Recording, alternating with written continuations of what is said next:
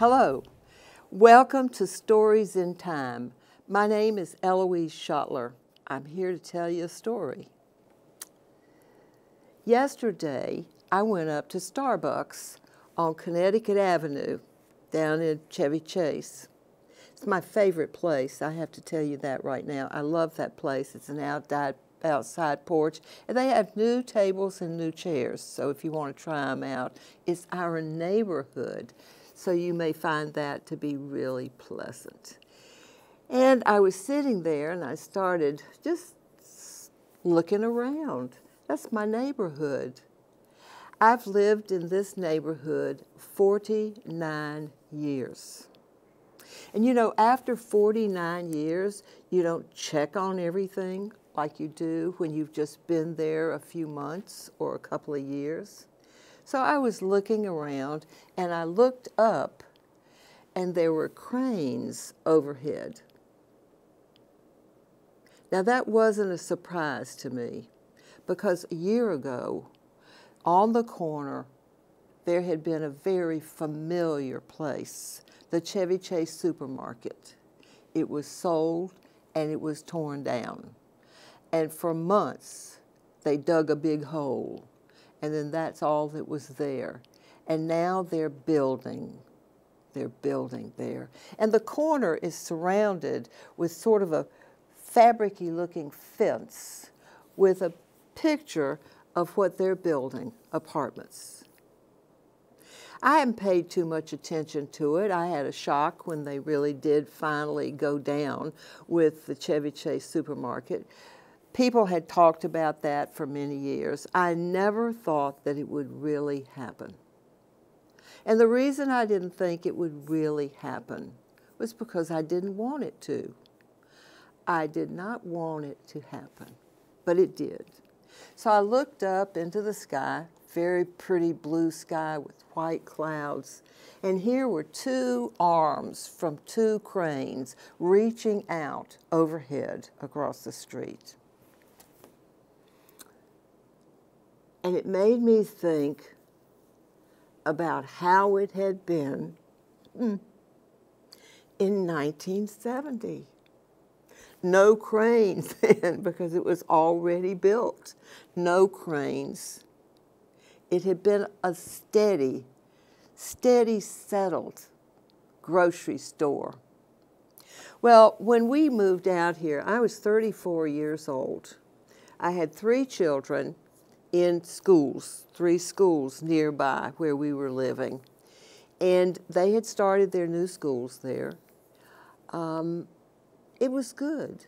It was good. We were happy to be there. We had lived on the other side of town out in Prince George's County. My husband left the Air Force, eh, which was okay, was fine, and he had his own private practice downtown. So you could say we were starting our new life.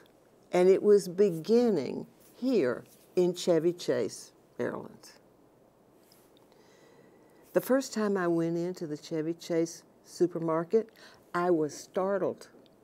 Startled. Number one, it was so sweet and clean and it smelled so good and it was all prissed up because it had chandeliers, lighted chandeliers from the ceiling Believe me, I had never known of a grocery store, which is what this was. It was just high neck, you know, it was a good place to go. They had beautiful meat and a back room that had lovely vegetables, and they were all arranged within the, the places that they had set out for it. And everybody was so friendly.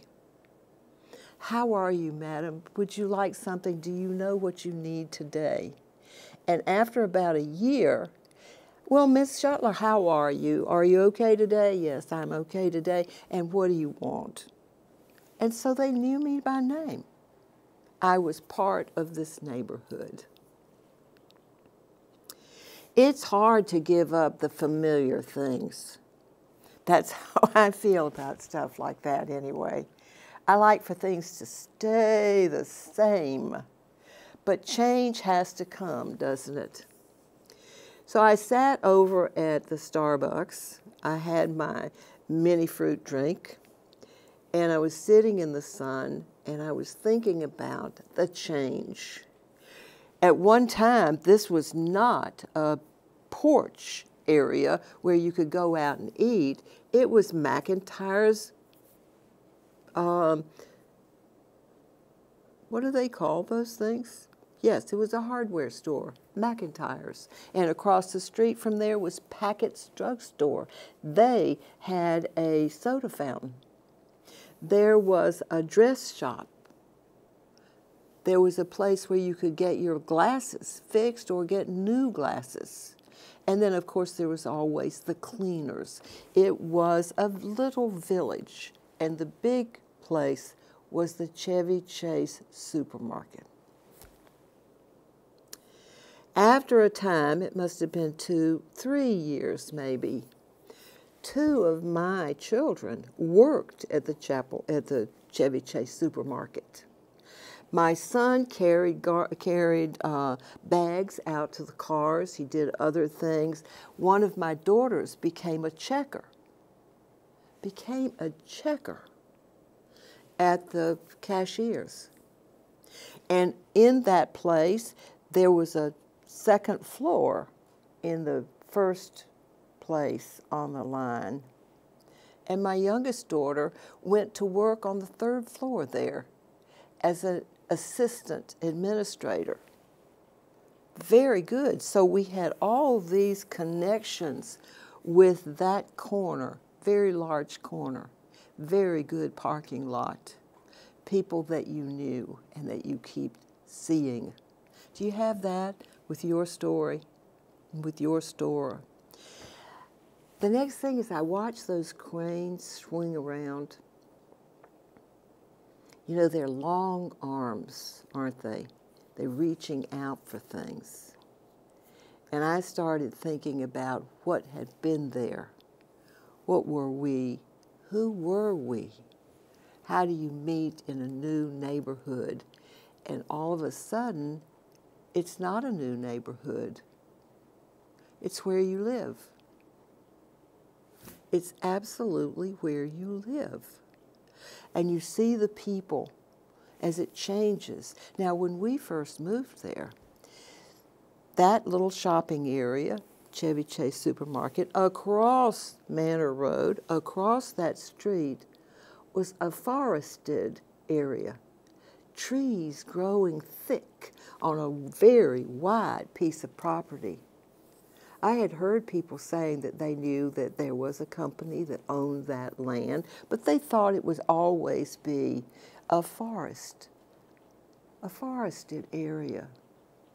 And people would say, you know, we know there are deer in there, but we've never done a count or anything. There are just a lot of deer in that area.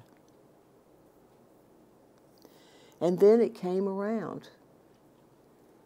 Maybe 20 years later, it came around that they took down the trees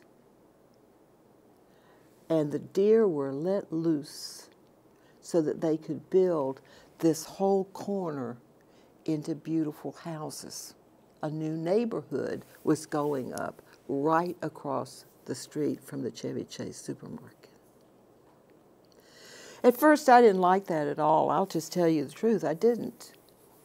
I had liked it when it was forested, when you could see them, and I didn't see any deer. And yet I had heard people talking as they waited to pay for their groceries. You know, I saw 10 deer out there last night, or I saw some other extravagant figure of deer. Where are they going? They're not back over there. There's nothing there but the new houses, the framework, the work that they're doing. Well, it soon became clear because, oh, I would say it was maybe a half a mile away. There was the Audubon. And they had property around them, and they had a, a fence that held things in. And they welcomed they welcomed nature. That's what they were all about. They well, and they still are all about it. And they waited and they looked and they took the dare in. And that's where those guys disappeared to. For a while, they disappeared to the Audubon, and then they were on the street at night, running from yard to yard. They loved certain kinds of plants, and you could so tell that they had been there one, two, or five, or six had been there visiting your yard because the hydrangeas, they were just snipped, perfectly snipped with those little straight deer teeth. They just pulled it right off. But that was an interesting period for our neighborhood. I always remember that. It was an interesting period. And then, like any neighborhood, we saw people sell their houses, children grow up, if their parents were still there, they came back with their wives and their children, and they played in the yards. And we had, for some period of time, not many children waiting for the school bus because we had to grow those children up before they'd be ready to go back to school. The more I thought about my neighborhood, the more I thought about it, I made notes and I thought about it and I thought, this is not enough for me. I'm going to have to think more about this place on Briarly Road where I have lived for 49 years. Have you thought about your neighborhood? Are you a new neighbor? Have you just been there a few months or a year? Do your children go to the schools nearby? Our stories are in our neighborhoods. If you have a story of your neighborhood, I hope you'll send it to us here at MMC TV. Let us tell it for you or call somebody for you to tell your story and we'll have more information about our larger neighborhood here. Thank you for listening. I look forward to coming back with more about our neighborhood.